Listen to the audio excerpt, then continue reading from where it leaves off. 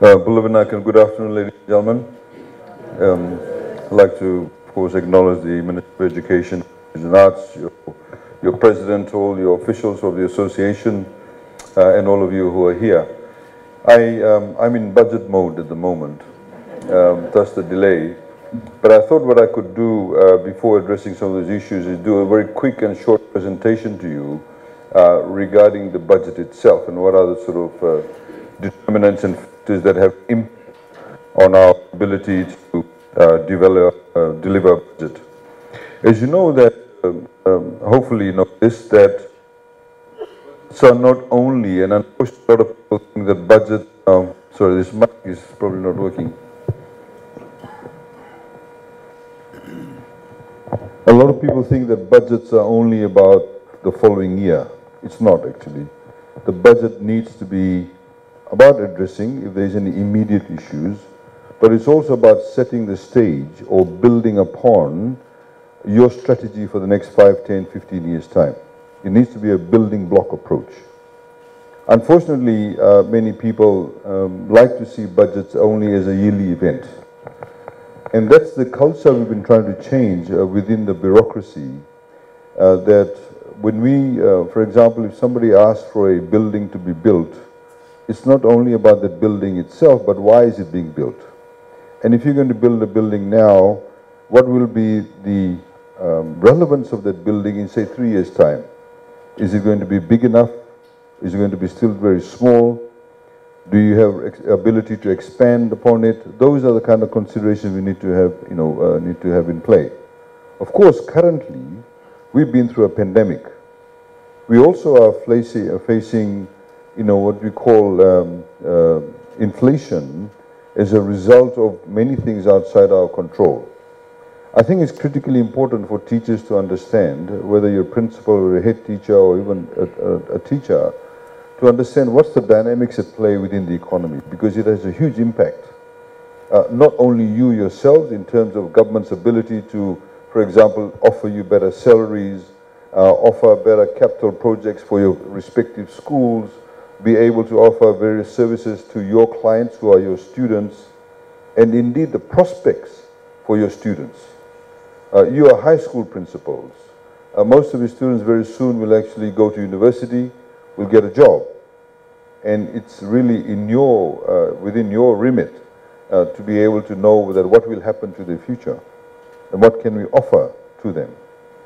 Of course, access to technology has been highlighted earlier on plays a pivotal role because now we've seen, you know, there's a change in um, the, the, psychology of students, as you know, in the past number of years.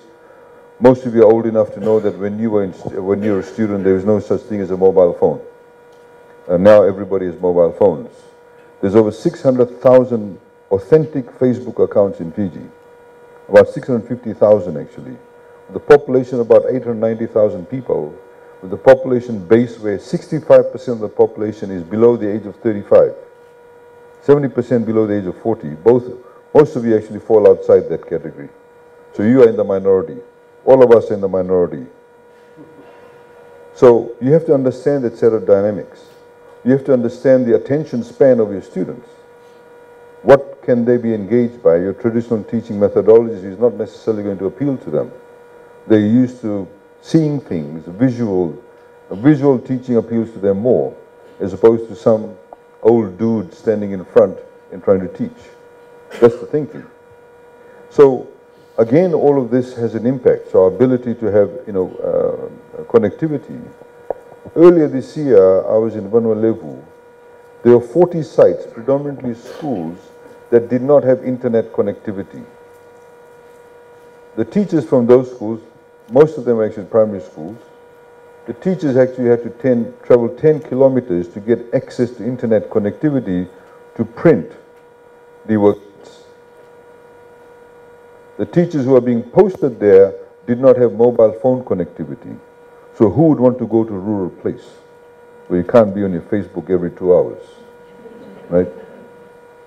These are the hardcore realities. We connected these people to internet. If there was a village there, if there was a farming community nearby, we Wi-Fi'd the school compound so the people in that community could come and get connectivity. It was extremely empowering for them. But it also showed the great disparity between what most of you actually get to experience and enjoy and those who don't have that. So, your president talked about inclusivity. That's part of being inclusive. A lot of people think inclusivity is about gender or ethnicity or religion. It's not only about that. It's about access to services. It's about reducing the gap between those who have and those who have not. It's about reducing the disparity in services between the rural and maritime and those in the urban centers. Fundamentally, that's inclusivity is very critical. So with that as a, as a background, uh, if I could just very quickly take you through the budget itself and some of the things that are at play at the moment in respect of what has an impact on our ability to deliver the budget. COVID-19 actually reduced the size of our GDP by 17.2%, is the largest contraction ever in the history of Fiji, in the history of many countries in the world. Nobody expected that in the 21st century that the different countries in the world or all countries in the world would actually shut down their borders. Nobody expected that. USA, Australia, New Zealand, New Zealand only until recently, UK, India, Russia, everywhere else, China, all shut down their borders. As a result of which, obviously, a country that's been very heavily dependent on the tourism sector, 40% of our GDP comes from the tourism sector, over 100,000 Fijians lost their jobs. Now, it's not only about the people who work in hotels or people who work at the airport or people who work at Fiji Airways. It's about those people who actually live off those people who live off the tourism sector. The example I like to give is we go outside Nadi Airport, just outside the airport you'll see a very nice bus shelter has been built by Fiji Airways and behind that there's a bunch of trees, thick trees. Now over there you have mainly women who sell lovo packs, roti parcel, mitai, boiled evi, their customers are the people who work at the airport, Fijians. Their customers are people who work at ATS, who work at Fiji Airways. Now, when the planes ain't flying, when the ATS is no longer catering, when the airport is not operational, they don't know, they no longer have any customers. So they're also affected, and these people are in the informal sector. A lot of the students that you teach, their parents are the ones who work in those areas. The last survey done by RBF before the pandemic was that about 130,000 Fijians earn a living through the informal sector. They don't have FNPF. They simply live off that. Some of them make good money, some don't. The ladies who work, if you go to the Outrigger Hotel, you go to the Hilton Hotel, you go to the Fijian, you have all these women from the nearby villages who actually sit in some corner and they're making handicraft. They're not employed by the hotels, but they're given a space to actually make their goods and sell their goods to the tourists they are no longer employed. People who, you know, come and perform from the villages and do the meke to the tourists no longer have a job. The artists who perform in bands no longer have a job. The DJ no longer has a job at the hotels. We lost as a result of that $4.6 billion of our GDP. You can see the GDP actually contracted from 11.8 billion to about 9.7 billion dollars. We lost $4 billion in foreign exchange. All of you are wearing clothes. Some of your clothes are maybe sewn in Fiji, but none of the fabric is from Fiji. Fabric comes from overseas. People are wearing lipsticks. People are wearing shoes. People are wearing, I'm holding this mic. The carpet I'm walking on, everything comes from overseas. The cars you all came in here, everything comes from overseas. Put simply, in order to buy things from overseas, you need foreign exchange. They don't buy it in Fijian dollars, you have to buy it in US dollars. Japanese yen, euros, Aussie dollars. So it's a two issue. Is that we lost that much in foreign reserves because the tourists stopped coming. Fiji Airways stopped selling tickets in LA, San Francisco, Japan, Singapore, Hong Kong. No foreign exchange is coming through. And secondly, of course, because of the fact that there is less spend. Those tourists aren't coming, they're not buying your handicraft, they're not paying STT, they're not paying ECAL, they're no longer paying VAT. Government revenue went down by 50% overnight. We get our money from that. You, get, you used to get lots of money from that. The government revenue by, went by 50%. So we took some obviously measures. So we stopped rural and maritime allowance. Right? That's the result of that. But we did not reduce the salaries, even though you did not teach for a period of time. We did not reduce the salaries. But we stopped rural and maritime allowance. Our family care leave was reduced and then removed completely. Uh, paternity leave was taken away. Those were some of the measures we did because we didn't want to reduce salary. But we had to do that. Government pumped in $500 million in income support, and I'll tell you why, how we did that. Additional on top of paying wages and salaries. Can anybody take a guess what's our wages bill for civil servants throughout in one year? Your school will get a computer if you win this. What's the civil salary? Yes? Close to 300 million? Nope. Somebody from the back? 100 million? Nope. 1.1 billion. 1.1 billion dollars is our wages bill for civil servants. Our total expenditure for a financial year is about 3.3 billion, thereabouts. So one third of what we pay is in wages. Includes your wages, doctors, police, etc., everybody. Then of course we pay for the operational expenditure. We pay for your FEG, the vehicle that came in, we pay for the fuel, the toilet paper, the copying, photocopying paper, the printers, etc. That's your operational expenditure. And then the other third, of course, not the other third, but the other part of it is your capital expenditure. We build stuff. The economy has been growing for nine years straight. We've never had this in Fijian history. We had once seven years of consecutive growth after independence.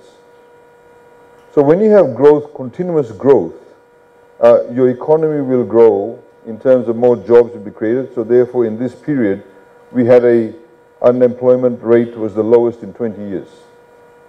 You know, there's more jobs were available. You see more cars on the roads in Fiji now than ever before.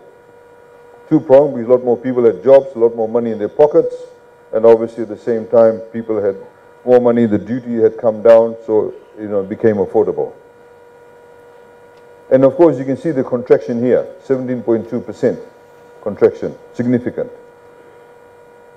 All of you, I assume, have all been vaccinated. That's why you still got your jobs. We had a no jab, no job policy. We also said that if you wanted to get the 360, you had to be vaccinated. I'd love to show you a graph, which I don't have, when the rate of vaccination in Fiji was fairly flat. The moment we said you had to get a jab to have a job, and then more so when you said when you said you had to get the 360, you had to be vaccinated, it suddenly the, it spiked up.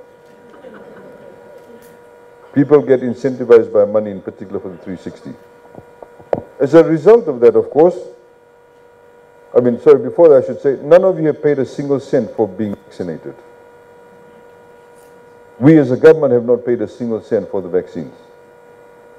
The moment the word vaccine was mentioned, we immediately got on to our development partners. The Prime Minister started talking to all the development partners, uh, the countries on a bilateral basis, Australia, New Zealand, India, Uh, USA, etc. We started to the World Bank, IMF, ADB, because we knew that the moment the vaccine was developed, it was the bigger boys and girls who would get the first bite of the cherry. USA's population is about 300 million people.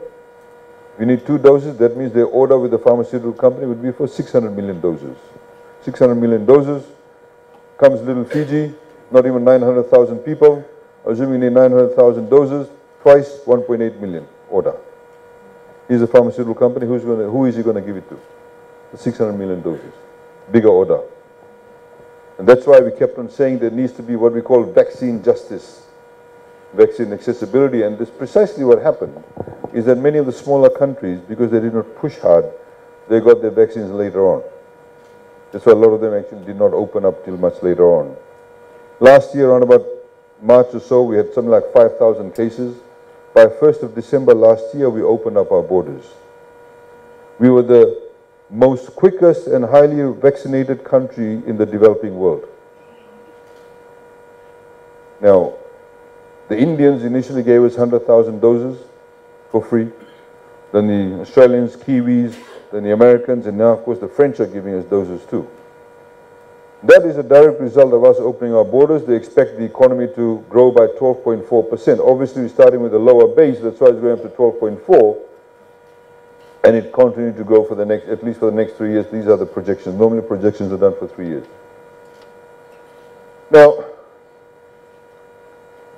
before the pandemic, we had 894,000 tourists that came to Fiji. If the pandemic, pandemic had not happened, we probably would have had 1 million tourists at least or more than that by now. Last year we had only 32,000 tourists. We expect about 492,000 tourists. Where are they coming from? Mainly Australia. In the month of May, if you compare the month of May this year to the month of May 2019 when we did not have a pandemic, we've got 90% of those numbers of May 2019. Fairly close to 100%. New Zealand, of course, recently only opened up their borders in the sense they could, they said to the citizens before, if you travel overseas, when you came back, you had to go into quarantine. Now there's no longer a requirement for quarantine. New Zealand is about two-thirds. The rest of them come from USA predominantly. June, July bookings look well. I don't necessarily go through, have to go through all this, but you can see where the growths are. Now, there's enormous inflationary measures, uh, pressures even before the Russia-Ukraine war, the price of things had gone up tremendously. There are two reasons. One of them is fundamentally what we call supply chain issues. Every one of you has one of these. You have a microchip that's used that needs needed to operate these phones or your computers. Now, the microchip is actually made out, of course, it's electronics, but the actual tray for the micro, the microchip is made out of a particular metal, which is mined like mining gold or silver or tin. It's mined. So when you have lockdowns, when you have bubbles, mining stops. Short supply of that particular mineral, short supply of that particular metal, but people still have a high demand. Yangona before Cyclone Winston was $85 a kilo in Suva. After Cyclone Winston, $185 a kilo. People still drank it at the same rate. The price went up bunch of bananas in Suva before Cyclone Winston is about three bucks. After Winston was seven dollars, all the banana trees fell down. Supply demand issue. The other issue that actually affected the price was the availability of containers. China is the largest manufacturer in the world. Whether one likes it or not, it is the largest manufacturer in the world. China, until only recently, was in lockdown. So the containers were not available. The cost of a container before the pandemic from New Zealand to Fiji was $5,500 after the pandemic was $16,500. So if I'm an importer, I will pass the price on to you. After the Russia-Ukraine war, of course, many people did not know this, but Ukraine feeds 400 million people in the world. Between Russia and Ukraine, they have 30% of all the production of all the cereals in the world. Cereals include wheat also. Russia is the third largest exporter of fuel, oil. So that obviously again put enormous pressure. You can see over here in this graph, the red line here is what you call the imported inflation, stuff that's completely out of our control. Domestic inflation is the green line. Sits at about 3.4, import inflation about 10%. You can see over here the domestic inflation high is you know fairly low here, even below zero. Over here you can see imported inflation was below zero also price of fuel at one stage was about 24 US dollars a barrel only 18 months ago. Today it's about 120 dollars a barrel. This morning though, however, they said the uh, barrel of oil now has come down by $10 because there's a fear of a global recession. And if there's going to be a global recession, there'll be less demand for fuels and therefore, based on that fear, the prices come down. You can see, in a way, how whimsical it is. Completely out of our control. But price of fuel obviously can have an impact on your domestic inflation. So I'm growing, you know, eggplants in Sigatoka Valley. The middleman comes and buys my eggplants by sackful. That's what they do. They and buy, you know, 25 sacks of eggplant, bring it to Suva. Now, if the price of fuel has gone up, the middleman now will push up the price of the sack of eggplant. By the time it reaches Suva, that will get passed on to the consumer. That's why fuel has a, what we call an all-encompassing impact. All of Banua the fuel, the electricity is generated by diesel. Ovalau at the moment, diesel. Taveuni, some of it is diesel. So obviously there's a huge impact in terms of the cost of running and su supplying that electricity. I want to show you a video um, which will demonstrate to you the impact of what's happened uh, via uh, Ukraine.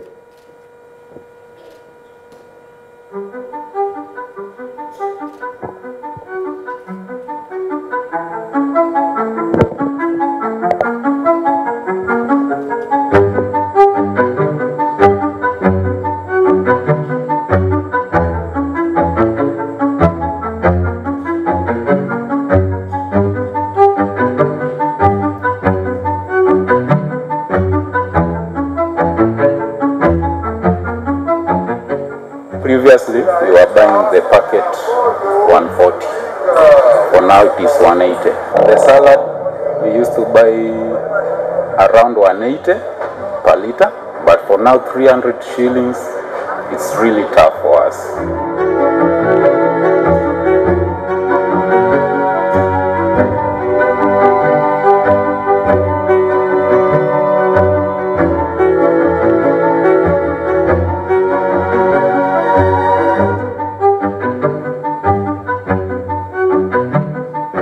Ukraine grows enough food to feed 400 million people on planet Earth. So when the farmers on the battlefields aren't planting or aren't harvesting, what impact do you think that's going to have?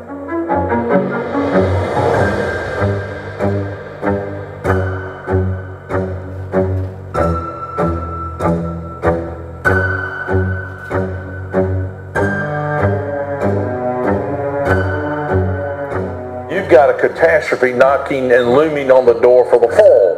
Uh, that will be not a price issue, but a supply issue, availability of food for people around the world, and that will be a catastrophe on top of a catastrophe.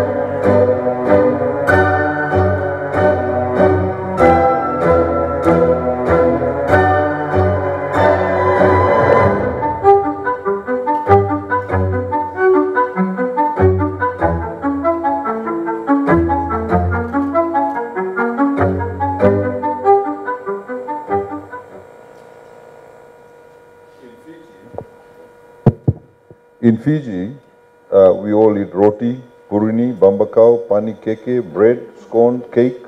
All of it is made from flour. Flour is made from wheat. We don't grow wheat. Only two companies in Fiji make flour. Punja and Sons in Navutu in Lautoka, FMF in Walu Bay in Suva. They buy the wheat from Australia. They bring the wheat, they grind it here, they put some vitamins, you get flour. You don't buy your flour from Punja and Sons in Navutu or Walu Bay in FMF, you buy it from the supermarket. So before they sell their flour to the supermarkets, they have to have what they call, they have a price control. It's what you call wholesale price control. So before they sell it to say shop and save, they'll go to Fijian Competition Consumer Commission and they'll say, I bought the wheat, for example, at $300 a ton. This is my labor cost, this is my electricity cost, my distribution cost. And FCCC will say, okay, you can make only this much margin. Then they sell it at that price to say shop and save in Suva. Then before shop and save sells it to you as a consumer, they'll they go off to FCCC and say, look, I bought it at this much from Punja and Sons. I'm renting a building in Suva. I pay this much rent, my labor cost, storage cost, etc., shelf cost. And they say, okay, make only this much margin. That's what you call a retail price control. So that's how you price control. But if tomorrow Australia is going to sell uh, them the wheat not from at hundred dollars but at four hundred dollars, obviously the price of it will go up. That's how the cost get passed. The cost get passed on. For many people in North Africa, in the Middle East, their basic source of carbohydrate is bread. Not bread as we as we know, like long loaf, but you know the pita breads, the flat breads. We in Fiji have dal and cassava. We have kumala. We have uto. These are locally grown food, foods. We have that substitute for carbohydrate. So if you think that the price of bread is too much, you can actually eat uto. if you want to. It's a reality. We don't know how long this war is going to go for. It could spread. We don't know whether it's going to spread or not. A couple of weeks ago, one of the Russian generals was threatening to invade another neighboring country. It did not give it access to Kaliningrad, which is an exclave of uh, Russia. Those things could happen. It could have an impact. Russia has the direct gas pipeline to Germany. They supply them with gas, cooking gas. That's now stopped. Americans are telling the rest of the world, don't trade with Russia. We have to punish them for invading Ukraine. Europe is also saying the same thing. The Qataris are still extracting gas, but there is less supply of it now because the Russians are no longer supplying gas. So the Europeans want that gas also. In normal times, I don't know how many of you know this, but in normal times when there's a winter in Europe, the price of fuel always goes up. People need more fuel to keep themselves warm, in particular if it's a very cold northern winter. That always affects the price. So that's what's happening. Now, in all of this, countries that did not manage their finances well have run into trouble. So one of the most common issues is about is of course foreign exchange, like, like I mentioned earlier on. So countries that did not manage the foreign exchange in anticipation of the pandemic or as an effect of the pandemic, they no longer have actually foreign currency to be able to buy things, imported items. And some countries have had their dollar devalued. If you're importing a lot of things, the dollar is devalued, those cost of those imported items will cost you even more. I'll show you the next video, which is from Sri Lanka, and that shows to you as to what's happening there as a, as a result of them not being able to manage the economy, in particular the foreign uh, reserves well. Helping put food on the table. Community kitchens like this are starting up around Sri Lanka as people struggle with its worst economic crisis in more than 70 years. Food inflation has hit nearly 60% and many people are finding it difficult to cope. Most of these community who are coming today or been coming are surviving with two meals. So we are giving them the responsibility of surviving for one meal and we are saying, right, we will support you with one meal, but a good healthy meal. Few now get to eat this well. It's very difficult. We rarely get food like this. Only my husband is working, but what he earns for a day is not enough to feed the three of us now. Tax cuts three years ago slashed government revenue by more than $2 billion. The tourism industry was then damaged by the Easter bombings and the pandemic. Now there is no money to import fuel, medicine, cooking gas or food. Right now actually our main focuses are on food banks, on community kitchens and again long to medium term uh, community gardens and home gardens because we can give rations but it's very short term. The government is appealing for help. We urgently require the assistance of our friends in the international community to ensure that our immediate needs in terms of the importation of essential medicines, food supply and fuel are met. India and China have sent food and medicine in recent days. The opposition says the government has weakened the economy through populist policies and mismanagement. A nationwide campaign dubbed Gota Go Home has been running for two months, calling on the president to resign. The government is seeking a loan package from the International Monetary Fund or IMF. Critics say it'll take too long even if agreed and people need action now. Tens of thousands of Sri Lankans are going hungry amid the country's worst economic crisis in decades. Community kitchens like this can only feed a fraction of them. Minelle Fernandez, Al Jazeera, Colombo.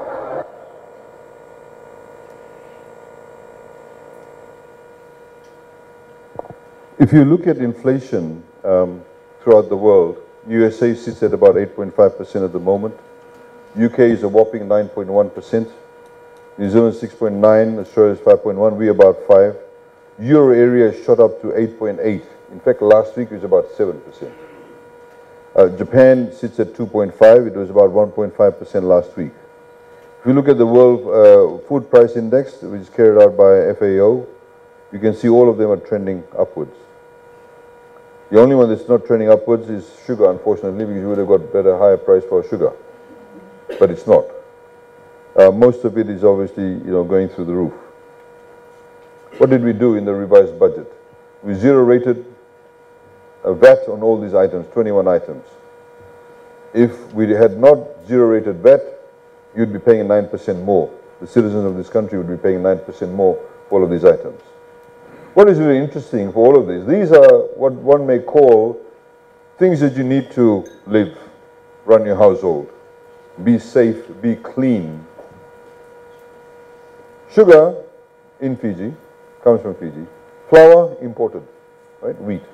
Rice, most of the rice you eat is imported. A lot of the canned fish you eat is imported. Cooking oil, 100% imported. Potatoes, 100% imported. Onions imported. Garlic imported. Baby milk Im imported. All of it is 100%. Powdered milk, all imported. They just brand it differently. Liquid milk, most of it is imported. Dal, all imported. Tea, all imported. Salt, all imported. Most soap is imported. Soap powder is imported. Toilet paper, some is made here. A lot of it is imported. Sanitary pads, all imported for females. Toothpaste, imported. Kerosene, imported. Cooking gas is imported. So you can see how important it is for us to make sure that we have enough foreign reserves. In Sri Lanka, they don't have enough foreign reserves to even buy fuel. They don't have enough foreign reserves to buy medicine because they did not manage the foreign reserves well. And some stupid academics are currently comparing us to Sri Lanka. That's the level of intellectual input we're getting uh, by some academics in Fiji and outside. So, where are we? Exchange rate stability. A lot of people don't realize that if this was not managed properly, the Fijian dollar would have been devalued. That would have been, as the director of FAO would have said, a catastrophe, catastrophe upon catastrophe. This would have happened. $500 million in what we call livelihood support. What was that about? Let me just quickly take you through that.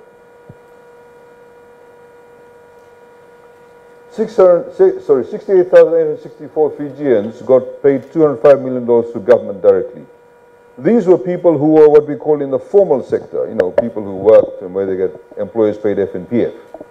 And we said that you could access your general account, a certain amount of money on a fortnightly basis. Of course, a lot of them ran out of money in the general account. Remember in your FNPF account, when you pay your FNPF, it gets split into two. 70% goes into what you call a preserved account, 30% is your general account. Preserved account you can't touch unless you retire or if you're building a home or buying a home. General account is what you can touch for you know, medical expenses and various other things. So we said you could touch the general account, this many people we paid $205 million to. Then we had the first round of $90. As I mentioned, we wanted to also assist people who had, were in the informal sector. $90. We said this is per household. Then we very quickly found out people chortering from the system. Same people, five people from the same household were applying for $90. So that's why we reduced it to $50 per person. 10.6 million paid there, 11.2, 224,000 people got $50. Second round, 10.2, 205,000 people got uh, $50. Then now the famous 360. 106 million dollars paid to 294,000 people. 87 million to 241,000. From 1 to 3 was exclusive to Viti Levu. 1 to 3. 360 was some people from Vanua Levu who were formally engaged and who no longer had job. But most of the people who got it were from Viti Levu. Vanua Levu got a $100 assistance, we paid about $2 million now. So $432 million was paid out. That meant the economy, which is already very slow, got injected with $432 million. Of course, one or two people drank the, uh, drank the entire 360 in beer. Most of them didn't. They bought food, they paid rent, they bought shoes, they bought clothes. But when they did do spend that money, it created economic activity. So we would have hired a carrier, would have hired a taxi. So the carrier driver gets some business. The taxi driver gets some business. The people in the shop get more business, so they may hire one or two people as casuals. We could have paid all of that $106 million in the first round on one day. But we didn't because we knew everybody going to queue up outside Vodafone Digicel. Will defeat the purpose. You remember we still had COVID. So we spread it over one, one week. The interesting thing in all of this, I hope you realize that, that all of that money, apart from the $205 million for the FNPF, nobody went and queued up outside the DO's office or the Ministry of Poverty Alleviation or some Turaga ni Koro advisory counselor. They all applied on the phone. They all got paid on the phone. So you had 70 year olds, 60 year olds doing the application on the phone. How many teachers can do that? How many people are adaptable to the digital space? Everybody had to have a TIN number, tax identification number. So in that way, we're able to get more people into what we call mainstream financial system. But it goes to show that the economy is actually, I mean, the, the population has been exposed to quite a lot uh, from that perspective, uh, digital space concern. Now, we've done obviously a lot of things, you know, you no longer have ECAL, which is Environment Climate Adaptation Levy. Departure tax used to be $200, now $100, no more stamp duties. You want to start a business on the side, you don't have to pay a business license, unless of course you're selling food, then the, you know, health inspectors have to come in. No longer require that. $200 million working capital, you get a loan, the first two years of interest we pay on your behalf to the financier. Don't do any principal payments and interest payments until the third year. All the market vendors today in Fiji have had their market fees paid for this one whole year, up to the 31st of July of this year. If you're a fisherman, you're applying for a license, we pay the market fees for you. If you're a taxi driver, your license, your taxi license expired, you go apply for renewal, we pay for that. So, you know, everyday expenses, we try to meet that. And as a result of that, $500 million assistance was given. A lot of people in Fiji have become experts on debt. Of course, it's an election year. A lot of politicians try to make political mileage out of it. Every single country in the world borrows money. The salary that you get paid, the fees that we pay to the schools is not enough, uh, enough to cover everything. So we have to fund the salaries. When we build a school, when we build a re, uh, we do rehabilitation works, we don't make a profit. That's the job of government. When you put street lights, you now you can see rural electrification, rural street lights. Before, if there was a village and they wanted electrification, everybody had to pay 10%. If half of the village didn't pay the 10%, the electrification program never took off the ground. Living in a farming area, everybody living there had to pay 10%. That's gone. We'll do the 100% funding now. Now, just very quickly so you understand this, when people borrow money, you have to ask two fundamental questions. Why is the money being borrowed? What is, what's the purpose of borrowing that money? If we decide to borrow money to build a nice big accommodation convention center in Pacific Harbor for any government minister who wants to take a rest when driving back to Suva, and we spend 25 million bucks, that's stupid use of money.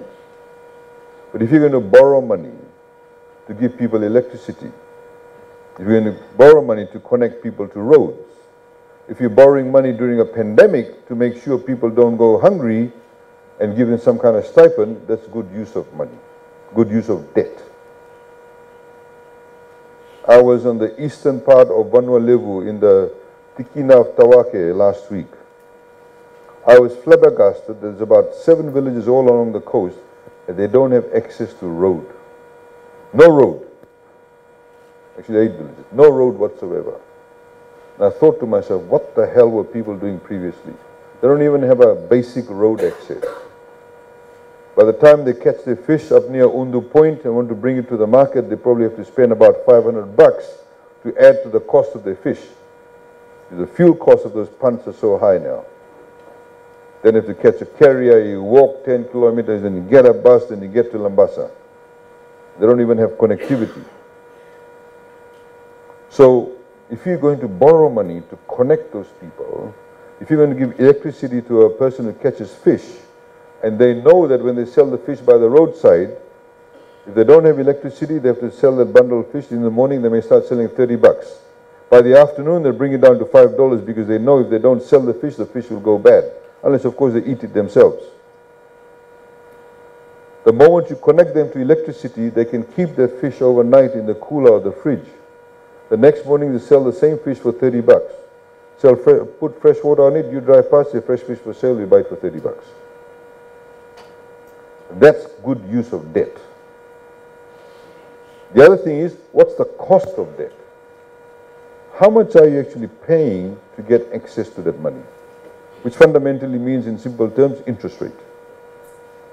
So if this lady here decides to borrow $100,000 for a business, she goes to BSP and BSP says, no problem.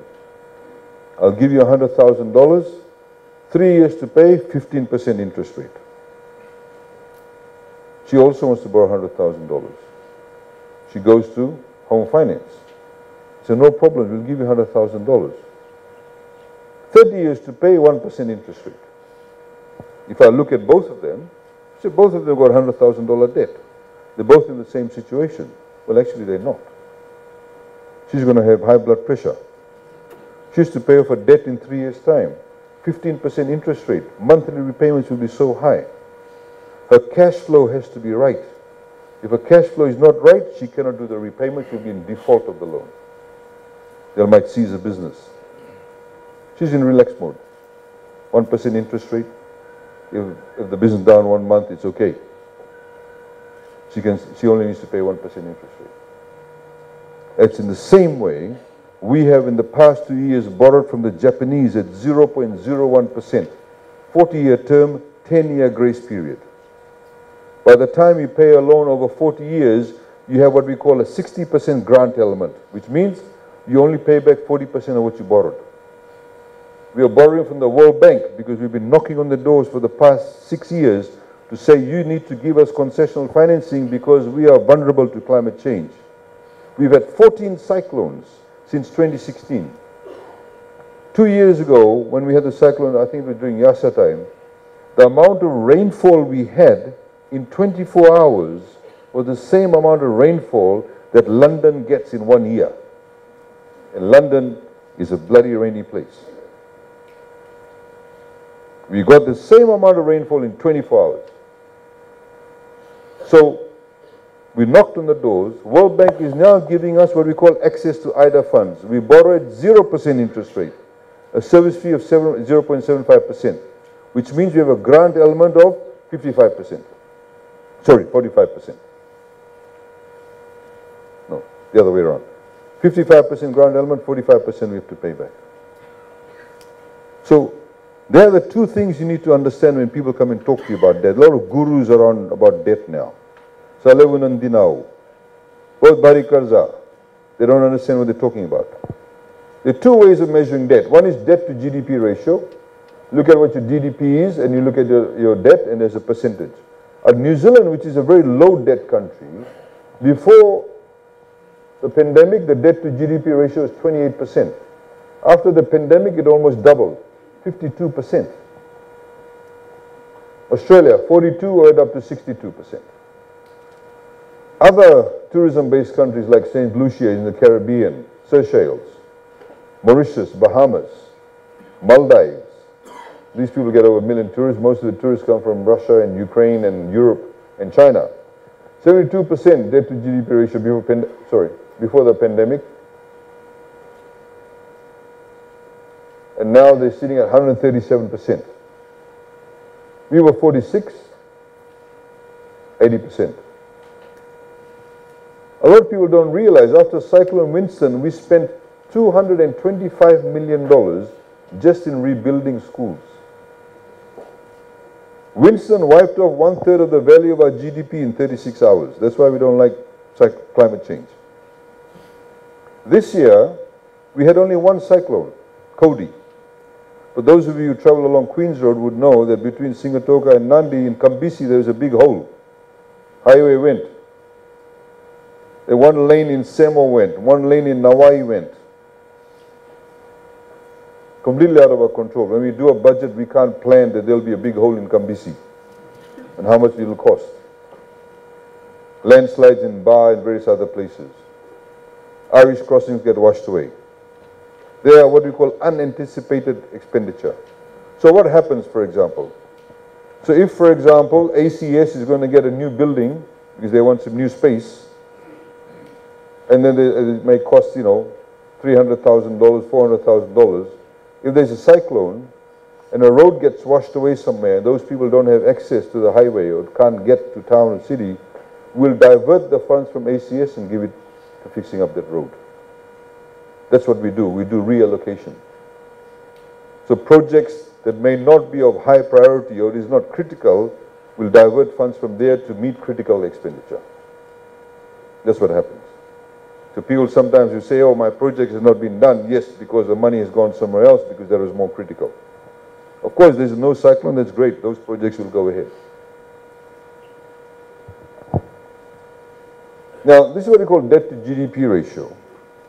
As I mentioned to you before, our GDP has been growing. Some people made fun. They said, oh, the Bainimarama boom. It was actually a boom, and I'll tell you why.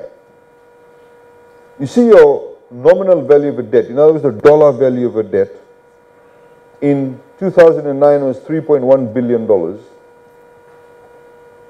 Debt to GDP ratio is 55.8%. In 2015, your debt was $4.2 billion, but your debt to GDP ratio came down to 43%. Why? Because your GDP has grown, your pie has grown. Same way, this lady is going to, she has $100 and she goes and borrows $20, you would say a debt to GDP ratio is 20%. He goes and borrows $50, two and a half times more than what she's borrowed, but he has $500, his debt to GDP ratio would be only 10% because his pie has grown. So the philosophy behind this is that before the idea was there was an assumption that the pie was always this size. And if I have to give to him, I have to take it from him and give it to him. But if you grow the pie, everybody gets a bigger and equal share of the pie. This is the dollar value of debt. Internationally, when you measure debt, you measure it in US dollars.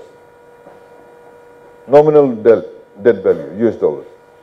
Again, these are all tourism-based countries. Bahamas is a lot smaller country than us. It's got debt of 11.4 billion US dollars, which is about 22, 23 billion Fijian dollars. Mauritius, 11.2 billion. Barbados, much smaller country than ours. Mauritius is about 1.1 million people.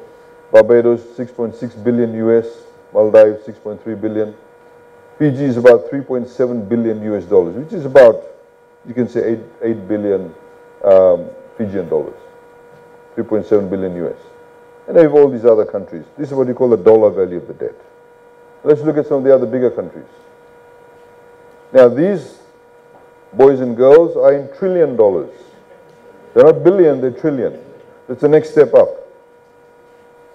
US is the most debt-ridden country in the world, 30.5 trillion US dollars, which is about 60 trillion Fijian dollars. Then Japan, which is about 13 trillion, China is 12.8 trillion, UK 3 trillion, India 2.8, Australia is about 976.7 billion dollars, nearly 1 trillion. It's all US dollars, and of course Fiji is sitting here at 3.7 billion. Uh, New Zealand is 121.6 billion. The interesting thing is that nobody says that these people are debt-ridden. Nobody says, oh my God, New Zealand is so debt-ridden. Even though the dollar value of New Zealand's debt is 1. Uh, 121.6 billion uh, US dollars. Let's just put into perspective. You should be able to get these slides on our web page. I will put that up so you can talk about it. Now, as I mentioned to you about foreign reserves, I'll try and sort of fasten up the pace because I'd like to open the floor for any questions or comments you may have. Now, you need, the International Monetary Fund says that you should have at least three months worth of foreign reserves to trade. That's a healthy sign. You, oh, you're okay. You know, it's like your sugar. You should be about 4%, 4.5 sugar. If you go any higher like 6, then you're running into trouble, 6 or 7, depending on your age. So we have at the moment 3.4 billion foreign uh, dollars in reserves, which is about 7.9 months worth of trading in a healthy space. What is interesting is this. If you look at the over here, we have $2 billion, but 4.5 months of, of trading. you had only 1.3 billion but 4.7 months. Why is that? Because when your economic activity is going on a lot, a lot of people are constructing, they're building, you'll have a higher demand for imported items. When people are buying more cars, you have a higher demand for imported items. So you need to have that level of foreign exchange. Liquidity is also something else uh, that's very important. Liquidity basically means the amount of money available in the banks. Remember, banks don't make money from having money in their bank.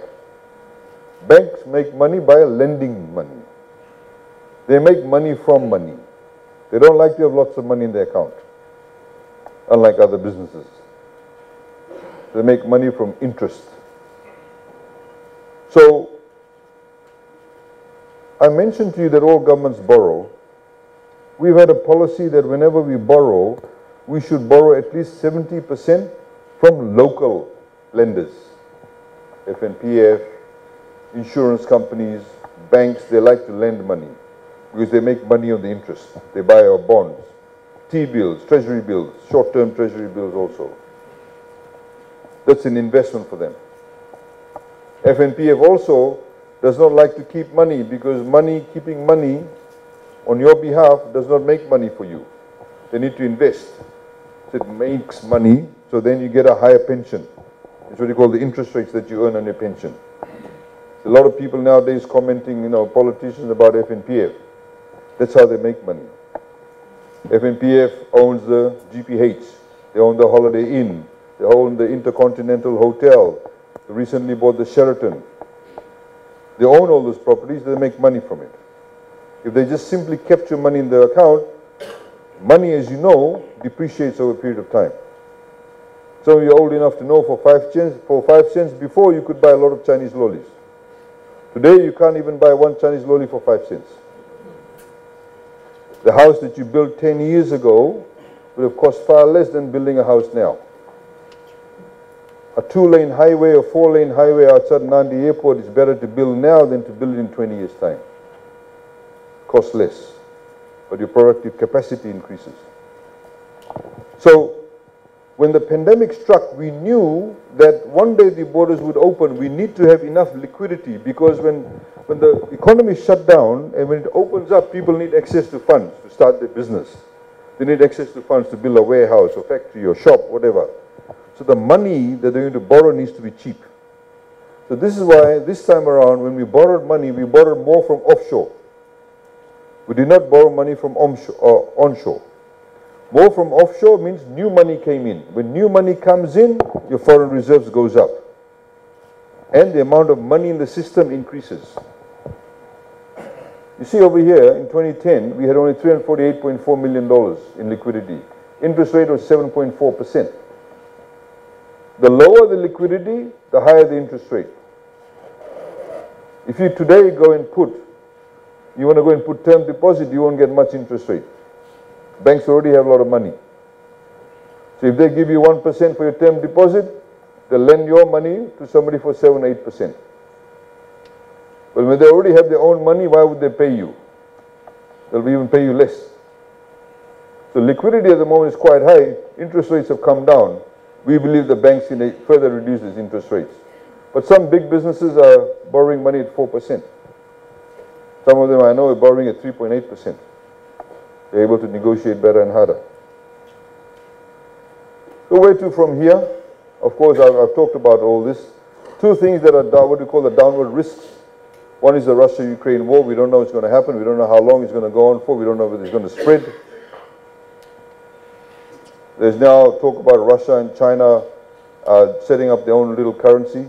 They want to trade in gold. Gold is a means of, uh, you know, uh, exchange, not U.S. dollars that could change the whole equilibrium.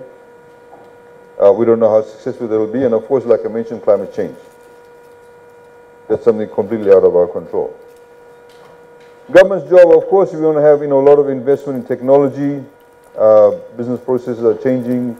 Private sector-led growth.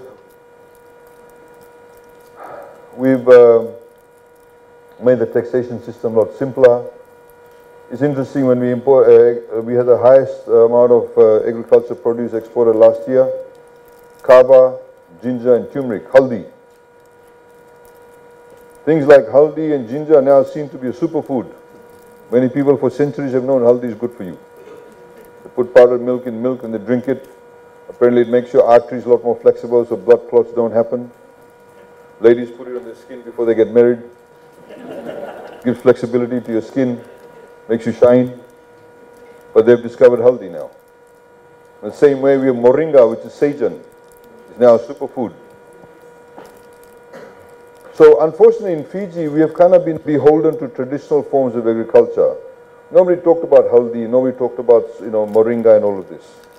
If you went to any old cane farm, you'll find, you'll always find a moringa tree, a sajan tree there. Always. You'll find the Fijian tea there. Always. You'll find a lemon tea there, a lemon uh, tree. Those basic things were there, coconut tree, etc. So that's a lot of that is happening. A lot of haldi in Navosa. A lot of the villages are going out in the hills. There's all organic, wild-grown ginger, uh, wild-grown haldi. They're digging it up and they're selling it. For us, we have to make sure that the pricing is right, that they don't get ripped off. The same way we've opened up the bêche-de-mer sales. We have to make sure the right people are buying it and giving those villages the right price for that too. There's a very important issue here that I want to talk to you about, and that is the lack of skill sets available in Fiji, and more so the poaching of that. We know some teachers have left Fiji. There's a shortage of teachers in certain areas. Math, science, physics in Australia. My brother-in-law teaches in a remote country town outside Griffith. He gets paid phenomenal allowances. It's a town of like 100 people. There's about 40, 50 kids, but they have that education system there. They paid enormous levels of allowances. You would have seen some advertisements in the papers over here. Australian recruiting agencies are wanting to recruit chefs from Fiji. Three, more than three years experience, they're offering 80 to 120,000 Australian dollars.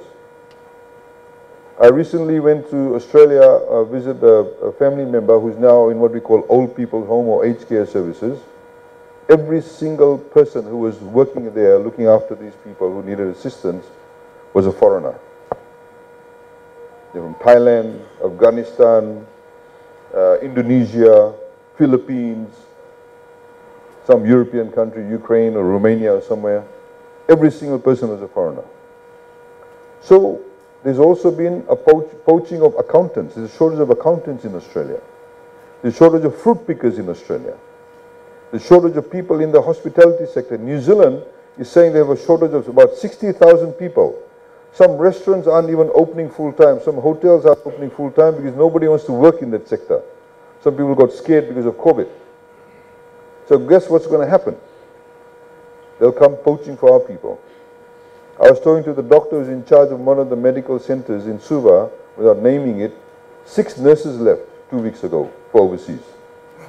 India is recruiting nurses, sorry, UK is recruiting nurses from India. We have some of our nurses working in the Emirate countries. We have a lot of Fijian women in particular who work in California, in San Francisco Bay Area, providing aged care services, some legally, a lot of them illegally. But there's a demand for it. There's a demand for it. They get paid 150 US dollars a day. Food, accommodation provided. So there's a, there's a whole shift in what's happening, you know, what we call in the developed world in terms of work preferences.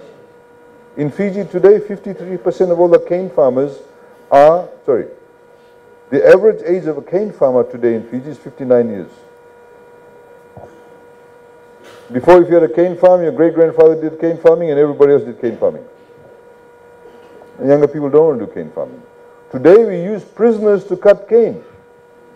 Nobody wants to cut cane. Even though we've got now dozens and dozens of cane harvesters. A lot of the cane harvesters cannot go on the side of the hill. Nobody wants to cut cane. So we pay the prisoners to go and cut cane.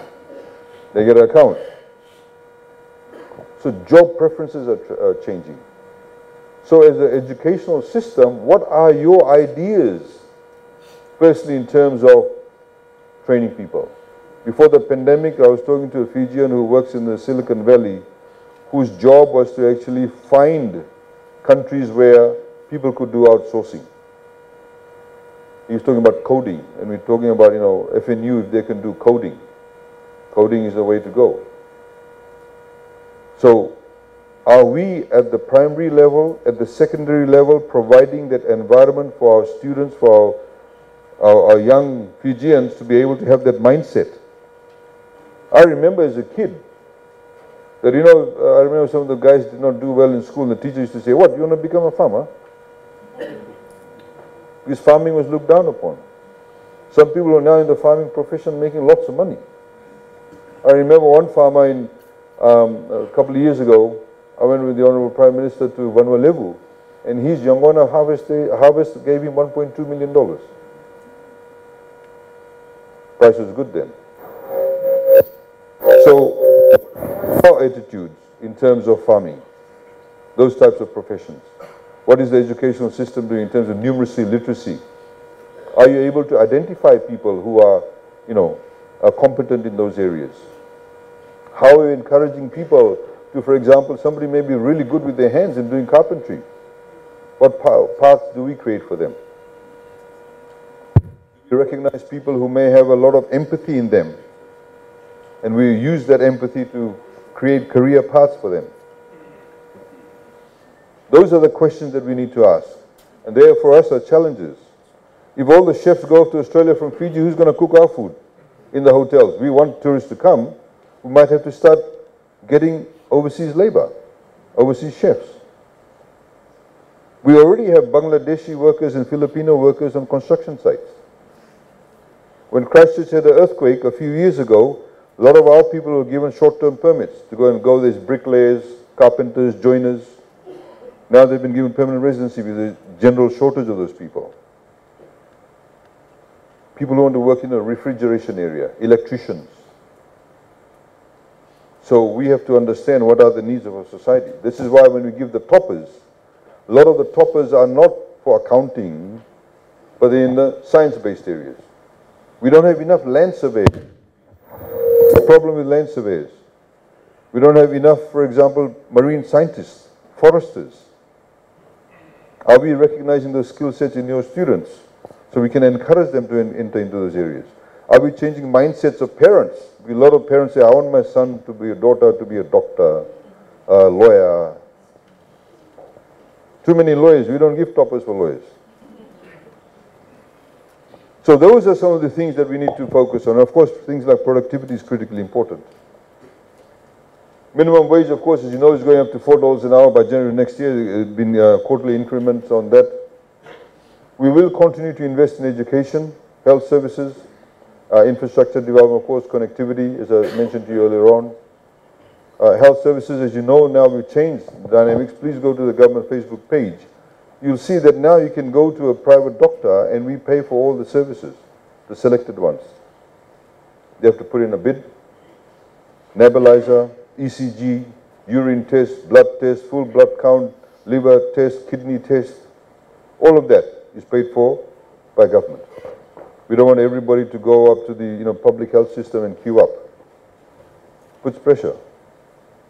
If you went, if you had a headache and had flu and you went to the public hospital in Brisbane, they'll send you away. They'll say, go and see your private doctor. They won't see you in the public health system.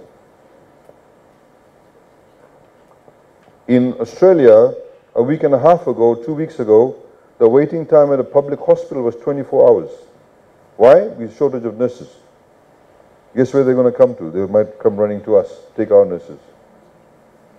So when we plan the budget, we need to give more scholarship, more training for our nurses. We have to look at, for example, as announced in the revised budget, look at what we call retention of civil servants and scarcity, recognition of scarce skill sets. For us, those are the you know, moving forward, those are the challenges we have. Okay, so education, this is how much money we spend. The Ministry of Education gets $447.1 million in the revised budget. That includes your salaries and everything else. Higher education institutions, we give $47.9 million. That includes all the you know, tertiary institutions that we fund. Tertiary Education Loan Scheme, $111.3 million.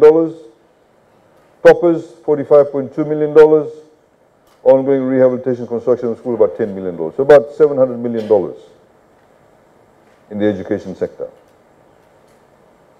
School student teacher information. This is, uh, so you know, number of primary schools, I'm sure you, all of you know this. The teachers there, the principals, the head teachers, just thought we'd present that to you. So overall, you're the largest ministry in terms of civil number of civil servants that are hired. We need to, I mean, to be frank about it, the HR department, the Ministry of Education over the number of years has not been good. It needs to improve significantly to be more responsive.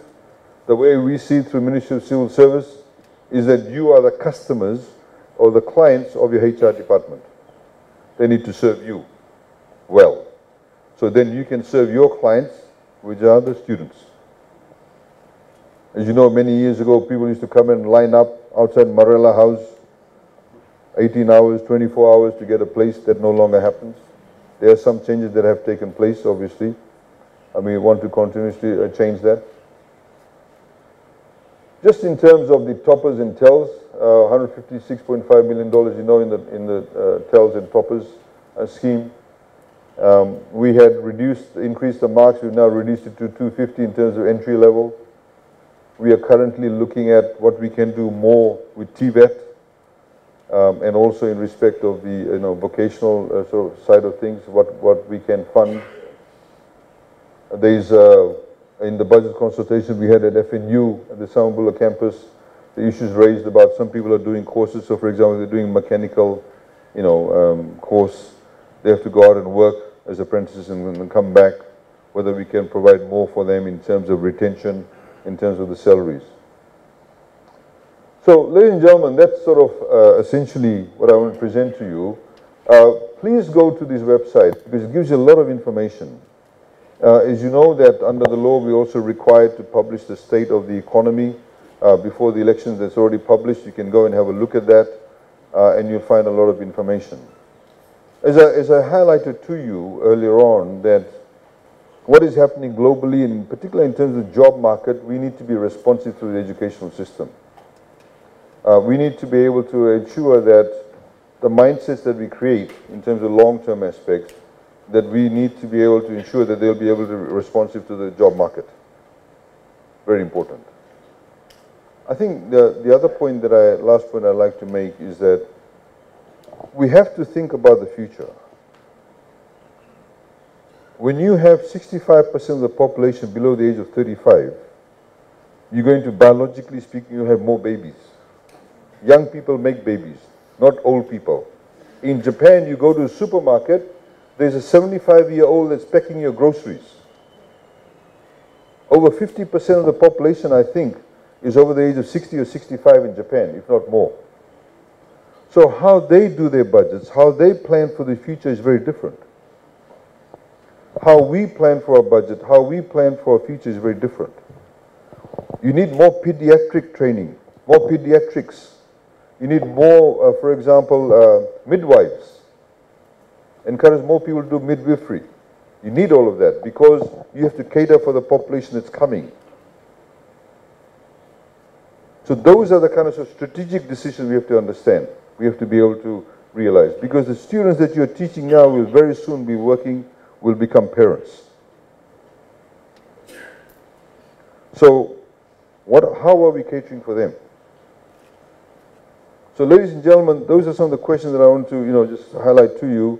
Uh, I'd now like to open up the floor for any questions or comments that you may have. Uh, please feel free to ask anything or make any comment on anything. As you know that the budget will be uh, delivered uh, Budget will be delivered next Friday uh, on the 15th of July, around about 7.30, 8 p.m.